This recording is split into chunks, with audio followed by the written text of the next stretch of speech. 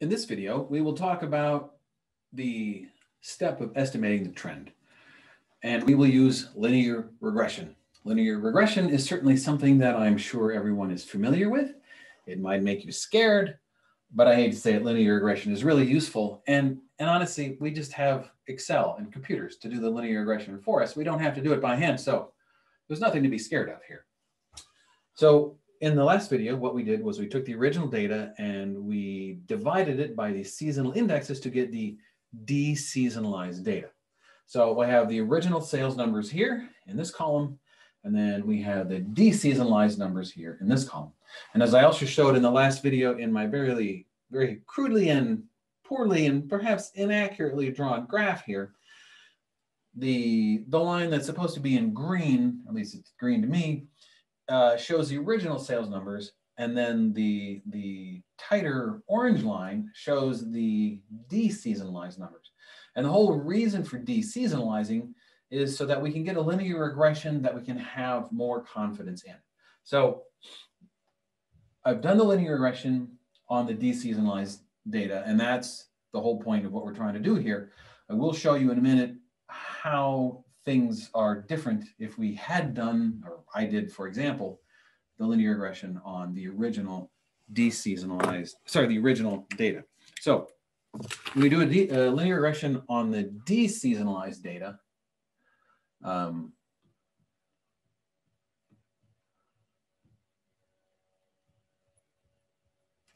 we do it on the deseasonalized data. What do we get?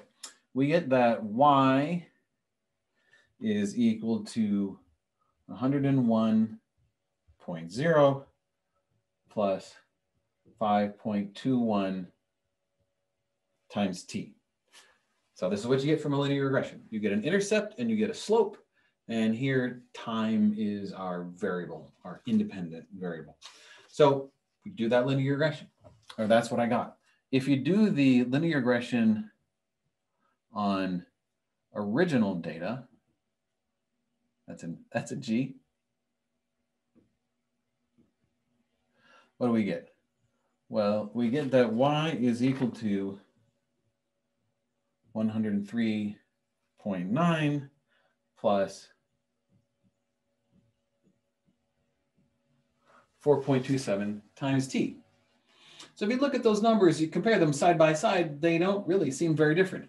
Here we got an intercept of 101, here we got an intercept of basically 104. So they're a little bit different, but not very much different really. And then here we get a, a slope of 4.3 and here we got a slope of 4.2.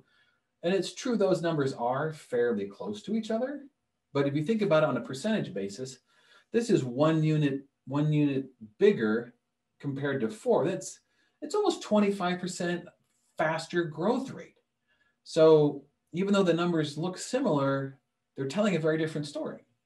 So it's important that we know which of those is the correct story. And I'm going to argue that it's from using the deseasonalized data. And then there's another thing that you may remember, you may have blocked out from your studies of linear regression, and that is we have something called an R squared value, which tells us the percentage of changes in Y that are explained by changes in, in the uh, independent variable.